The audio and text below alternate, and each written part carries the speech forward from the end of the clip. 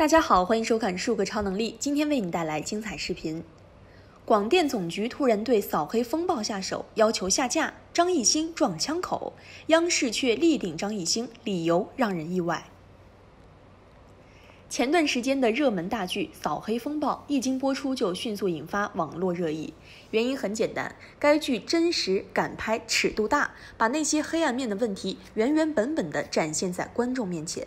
如今虽然《扫黑风暴》已经大结局，但是它的播放量依然居高不下，可是该剧却面临着下架的风险。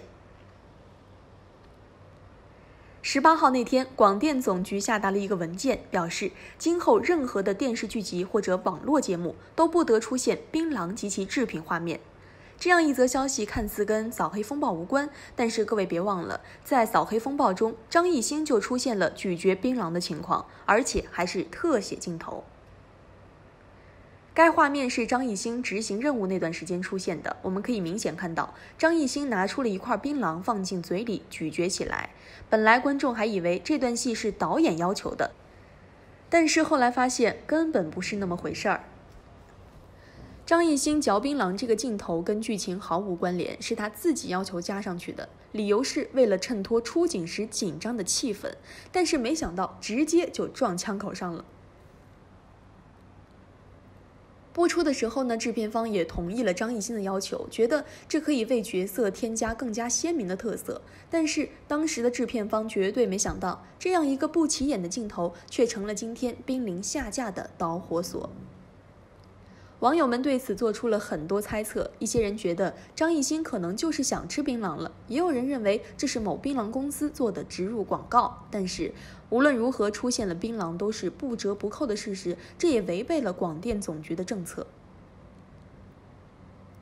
于是就有人呼吁要让《扫黑风暴》下架，绝不能姑息任何一个黑点。但是更多的人觉得，《扫黑风暴》是一部少有的好剧，不能因为这一个简单镜头就将它全盘否定，只把那一段删去就行了。毕竟整个影片宣传的还是正能量。《扫黑风暴》被骂惨时，张艺兴有央视和刘奕君的力挺，而江疏影为何没人提？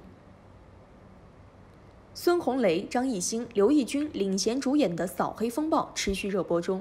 不得不说，这剧的开局非常的紧张刺激，而且细节非常多，可以用“精彩”二字形容。再加上有一众老戏骨在线飙戏，尤其是孙红雷似笑非笑中的运筹帷幄，让人看得过瘾。主线看得太过瘾，既紧张刺激，又有点搞笑，以至于支线就显得琐碎拖沓，给人有高开低走的感觉。前期铺设多，多线开展节奏快，待到了马帅死后，节奏异常的慢。明明一集的故事，非要用十集来讲。尤其是林浩和黄西这条线被诟病的最多，演员张艺兴和江疏影的演技也成了吐槽的主要对象。有人吐槽张艺兴剔牙动作不优雅的，也有人吐槽江疏影饰演的角色讨人厌的，说张艺兴演得像个二流子的。看来口碑爆棚的《扫黑风暴》也被诟病了不少。当网友的吐槽上升到演员的时候，还好有央视和老演员站出来力挺。为了力挺张艺兴，央视给其安排了专访来回应和解读，以及刘奕君也为艺兴说了话，力挺他的努力。关于剔牙，张艺兴在线解惑：其实呢，这是我用心设计的动作，一个看似不优雅的小动作，却得到了一举两得的好成效。一来呢，可以让人物更接地气，形象更加鲜明立体；二来呢，又可以有剔除黑恶势力的隐喻。扫黑风暴被骂时，张艺兴有央视和刘奕君力挺，江疏影却没地儿说理。目前剧里，林浩一共出现了三次剔牙动作：一次是抓捕美丽代时，一次是对惹事的李成阳时，一次是在医院和马帅一方对峙时。三次都是林浩面对黑恶势力时做出的剔除举动。关于演技。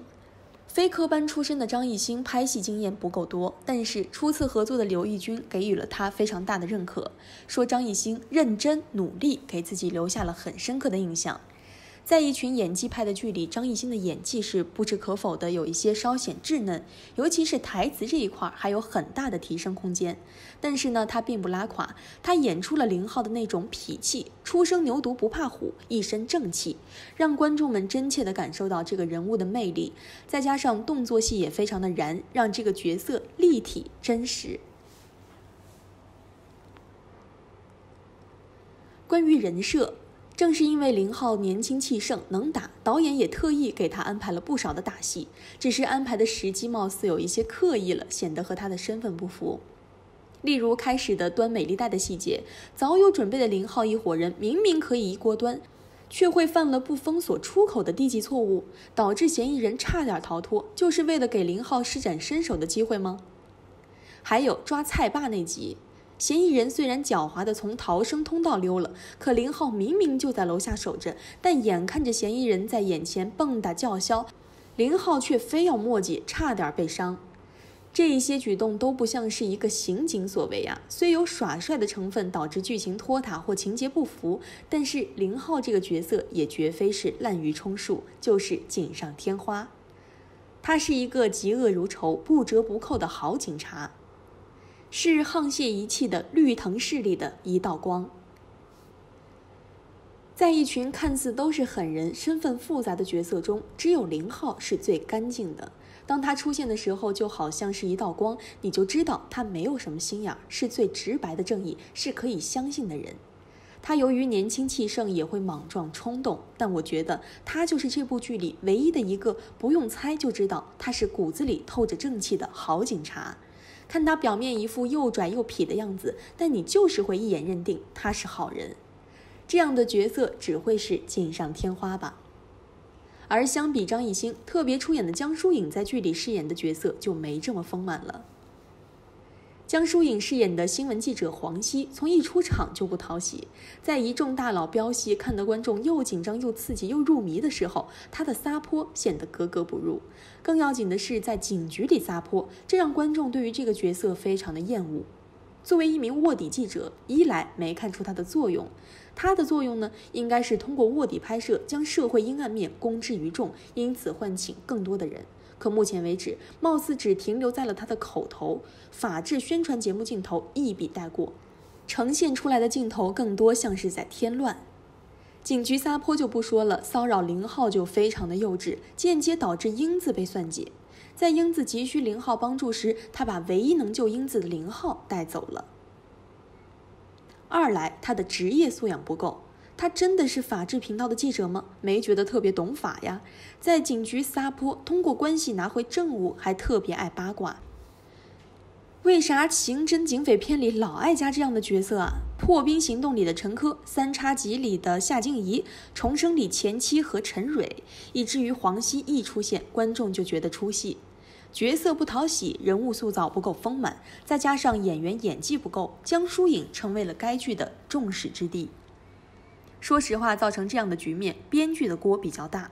可是没人替江疏影说话，境遇就有点像哑巴吃黄连，有苦说不出了。